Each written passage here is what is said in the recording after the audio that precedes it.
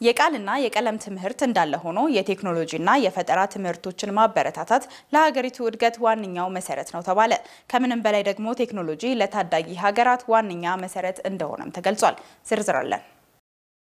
ስኬታማነት ከልጅነት ነው በሚል የሚንቀሳቀሰው የኢትዮ ሮቦ ሮቦቲክስ በርካታ ታዳጊዎችን ወደ ውጭ ሀገራት በመላክ በቴክኖሎጂው ዘርፍ እንዲወዳደሩ ያደርጋል። መጪው ዓለም እጅጉን እየዘመነና በቴክኖሎጂ እያደገ ከመምጣቱም በላይ ሀገራችንም ከሌሎች ሀገራት ጋር ተወዳዳሪ መሆን እንደሚገባትም የሮቦ ሮቦቲክስ መስራችና ዋና አዘጋጅ አቶ ሰናይ መኮንን ገልጸዋል። በዚህም መሰረት በዓለም አቀፍ ውድድሮች ላይ ለመካፈል ለአስራ ሁለተኛ ጊዜ ተማሪዎች ወደ ካናዳ ሊጓዙ እንደሆነም ገልጸዋል። እንደምታስታውሱት ከዚህ ቀደም ተደጋጋሚ ውድድሮች በማድረግ በ international stage ኦች world stage ላይ ተማሪዎችን ይዘን ኢትዮጵያን ወክለው እንዲወዳደሩ ስናደርግ ቆይተናል። ማለትም ይሄ አሁን ዛሬ የሚደረገው የካናዳ ውድድር ጨምሮ 12 ጊዜ በዓለም አቀፍ መድረኮች ላይ የኢትዮጵያን ታዳጊዎች ሀገራቸውን ወክለው ተወዳድረዋል። ከሚያዝያ ወር ላይ ደግሞ 13ተኛው ዙር ውድድር ለኛ በአሜሪካን ሀገር ሚያዝያ ወር ላይ ይካሄዳል። ይሄ አገሮች ተማሪዎች ሀገራቸውን ወክለው የራሳቸውን የ designing engineering እና programming skill ኣቸውን የሚያሳዩበት መድረክ ነው። robotics competition በአሁኑ ጊዜ ልጆችን በ STEM education በሳይንስ፣ በ engineering፣ በቴክኖሎጂ እና በ maths ዘርፍ ላይ የበለጠ እንዲሳተፉ በሰፊው እዛ ውስጥ እንዲገቡ የሚያደርግ ዘርፍ ስለሆነ ነው ሮቦቲክስ የተመረጠው ወይም ደግሞ እኛ በዚህ ውድድር ላይ ልጆቹን በሰፊው እንዲሳተፉ እያደረግን ያለ ነው እና ይህ ውድድር ልጆች በተለያዩ በተለያየ መንገድ አንድን ስራ መስራት እንዲችሉ ያደርጋቸዋል። ለምሳሌ የራሳቸውን የሆነ ዲዛይን አድርገው በራሳቸው engineering skill እንዲገለጡ ያደርጋቸዋል። ወይም ደግሞ እንደምታስተውሉት ደግሞ መጪው ዓለም digital world እየሆነ ከመሄዱ ጋር በተያያዘ ልጆቻችን ወይም ደግሞ ተማሪዎች፣ ታዳጊዎች አሁን ያለውን የኢትዮጵያን traditional classroom እየቀየሩ መቀየሩም አይቀርም በቅርብ ጊዜም እየተቀየረ እንደሚሄድ ተስፋ እናደርጋለን። ተቀይሮ ለወደፊት በሚኖረው ዓለም ላይ ተወዳዳሪ ወይም ደግሞ የ STEM jobs መምጣታቸው ስለማይቀር ለዛ በሚኖረው ዓለም ላይ fit ማድረግ እንዲችሉ የሚያደርግ ዘርፍ ስለሆነ የ out of school activity ውን በሰፊው እንዲሳተፉበት እያደረገ ነው የኛ ተቋም።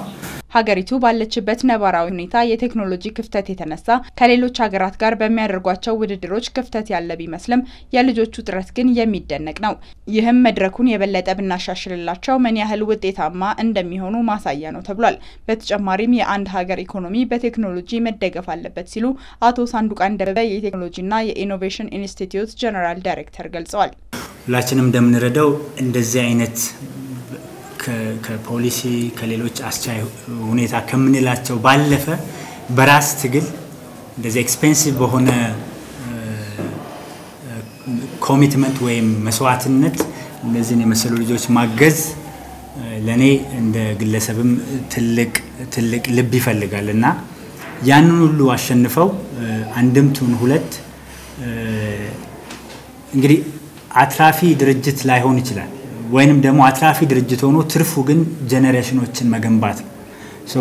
ይሄ ከፍላጎት ያለፈ ጉልበት ይፈልጋል። ይሄንን penetrate አድርገው እነዚህን youngsters ለመደገፍ ባለፉት አስር ዓመታት ሲሰሩ ለነበረው ወይም ደግሞ ላደረጉት አስተዋጽኦ መመስገን አለባቸው ብዬ አምናለሁ። ውድድራቸውን በካናዳ የሚያደርጉት እነዚህ ተማሪዎች በርካታ የሆነ የልምድ ልውውጥ እንደሚያደርጉም ተገልጿል። ስሜ ዳግማዊ በላይ ይባላል።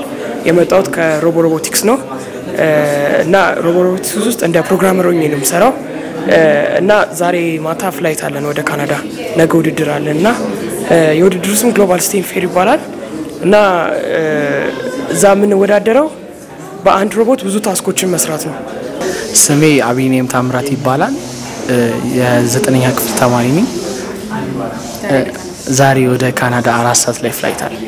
ስሜ አንቲኮ ሲሳ ይባላል። የመጣሁት ከሮቦ ሮቦቲክስ ነው እና ዛሬ የምንወዳደረው ዛሬ የምንወዳደረው ካናዳ ነው።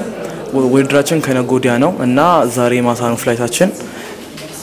ነገ እዛ ነው የምንደርሰው። ከዛ ትንሽ ልምድ አድርገን ነው የምንወዳደረው እና ውድድሩ አብሊክስ ነው፣ አቀፋዊ ነው እና በአመት ወደ 500 ሺህ ተሳታፊዎች አሉት። በአንዴ ወደ 10 ሺህ ተወዳዳሪዎች ነው መጥቶ የሚወዳደሩት እና የምንወዳደርበት አብሊክስ ነው እና አውቶማቲክ ነው። አንዴ ኮር ነው የሚደረገው እንደ ቬክስ ኮንትሮል ምናምን የለውም እና በአንድ ጊዜ ብዙ task ኦች በመጨረስ ነው። በተለይ ለ innovation sector ኡ ወይም ለኢኖቬሽን ሚኒስቴሩ መናገር የምፈልገው ነገር ቢኖር አሁን እንደተገለጸው ወይም ሚኒስትሩ እንደነገረን እነዚህ የተባሉት ነገሮች ቢቀጥሉና መካሄድ ቢኖርባቸው አሪፍ ነው። ማለትም ውድድሮቹ እንዳሉ ሆኖ ቢቀጥሉ አሪፍ ነው። ወይም ኢኖቬሽን ሚኒስቴር የተለያዩ ውድድሮችን ቢያዘጋጅ ቢቀጥል በየአካባቢው እነዚህ ነገሮች እኛ ምናልባት እድሉ ተመቻችቶልን ሊሆን ይችላል። በየአካባቢው በየቤቱ እድሉ ያልተመቻቻላቸው ልጆች እንዳሉ ስለምናቅ እባካችሁ ሳይንስና ቴክኖሎጂ ሚኒስቴሮች በተቻለ ለየአካባቢው ለየልጆቹ ለየትምህርት ቤቱ በቂ የሚሆን እርዳታ አድርጋችሁ እንድታቀርቡ እናገራለሁ።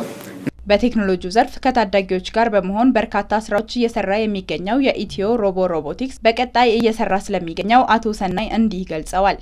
የእኛ የቅርብ ጊዜ እቅድ ምንድን ነው? African Robotics ኢትዮጵያ ውስጥ ይካሄዳል ብለን ዝግጅት እያደረግን ነው። African Robotics የተለያዩ የአፍሪካ ሀገሮች በአፍሪካ ከተማ በኢትዮጵያ ላይ ተሰባስበው የራሳቸውን designing engineering ና programming skill እያሳዩ እንዲወዳደሩ የሚያደርጉ መድረኮች ለማመቻቸት አስበናል። እሱ ላይ እየሰራን ነው። ቀጥሎ ደግሞ Math Olympiad African Math Olympiad ይጀምራል። የ mathematics ኦሎምፒያዱ already ከውጭ ድርጅቶች ጋራ ስምምነት ፈርመን ጨርሰናል። እሱ ሲጀመር ደግሞ በሂሳብ ትምህርት ታውቃላችሁ ብዙ ኢትዮጵያውያን ልጆች መመቻቸቱን መድረኩን ቢያገኙ ራሳቸውን አገራቸውን ማስጠራት የሚችሉ ልጆች አሉን።